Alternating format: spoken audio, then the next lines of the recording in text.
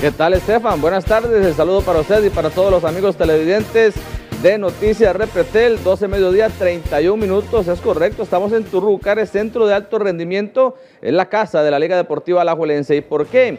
Bueno, hoy hubo un día de medios. ¿Qué es un día de medios? Es la apertura para que los medios de comunicación puedan estar acá, compartir con algunos jugadores.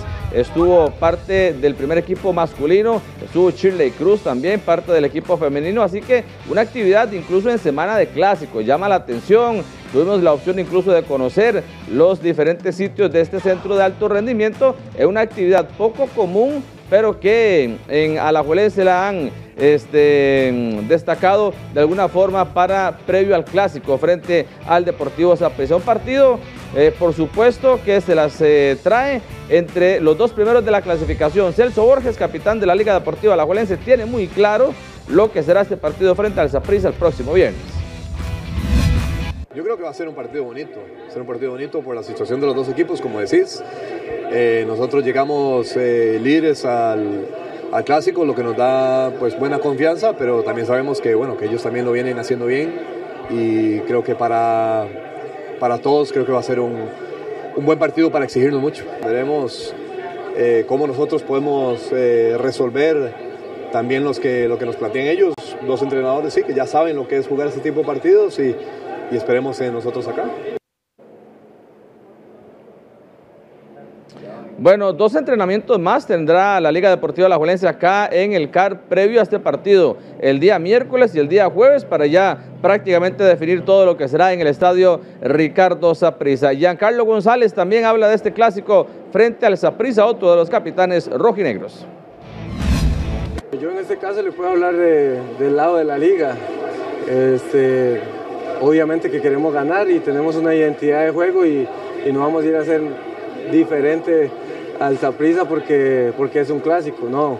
Vamos a ir a consolidar nuestra idea, lo que hemos hecho durante estos cuatro partidos de, de inicio de campeonato, tratar de hacerlo o implementarlo de la mejor manera para sacar la ventaja y traernos los tres puntos, que se sabe que son tres puntos iguales que los de Santos o San Carlos o Guanacaste, pero que son tres puntos que te dan un plus extra y eso es lo lindo de los clásicos. Perfecto, Giancarlo González, defensor, capitán de la Liga Deportiva Alajuelense. El equipo rojinegro todavía está en la recuperación de Ian Lawrence y de Carlos Martínez. Dentro de unos 10 minutos dará conferencia de prensa Andrés Carevic. Acá estaremos para la información en nuestro segundo bloque de deportes. Estefan Monge, esto es el reporte de André Aguilar para Noticias RPT. Excelente, André, muchísimas gracias por el detalle de Gracias compañeros nuevamente. Nosotros continuamos acá en Turrúcares, en el Centro de Alto Rendimiento de la Liga Deportiva Alajuelense.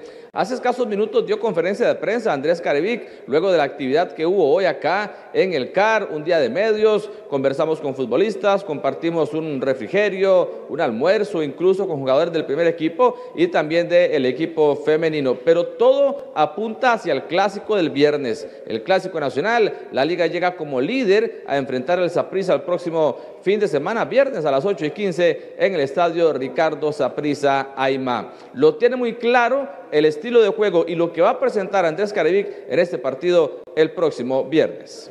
Seguramente va a ser un partido complicado porque están en su casa, también tiene igual 10 puntos igual que nosotros, eh, vienen invicto y bueno, eh, ellos eh, tendrán su su estrategia y nosotros la nuestra. Entonces, tratar de hacer eh, un buen partido y, tratar de, de, ganarlo. Perfecto, muchas gracias, don Andrés Carevic. Y el otro tema pendiente es el de los lesionados. Carlos Martínez y Ian Lawrence poco a poco se van integrando se van metiendo en el trabajo colectivo, aún no están al 100%, al día de hoy están descartados para el clásico los dos laterales, lo de Carlos Martínez y lo de Ian Lawrence. De esto también pues habló y a eso se refirió el técnico rojinegro Andrés Carevic. Bien, no, ellos eh, se han incorporado, eh, de igual manera lo estamos valorando, pero lo importante es que se puede incorporar un poco al, a lo que es eh, alguna parte del entrenamiento. Y bueno, esperaremos de acá hasta último momento para tomar decisiones si pueden ser partícipes del juego o no. 10 puntos para la Liga Deportiva Alajuelense, dos goles a favor con respecto al Saprissa y por eso está en el primer lugar de la clasificación. Habrá entreno miércoles y jueves para concentrarse antes del partido contra el Saprissa. Desde el CAR, Centro de Alto Rendimiento, acá en Turrúcares, este es un informe de André Aguilar para Noticias Rep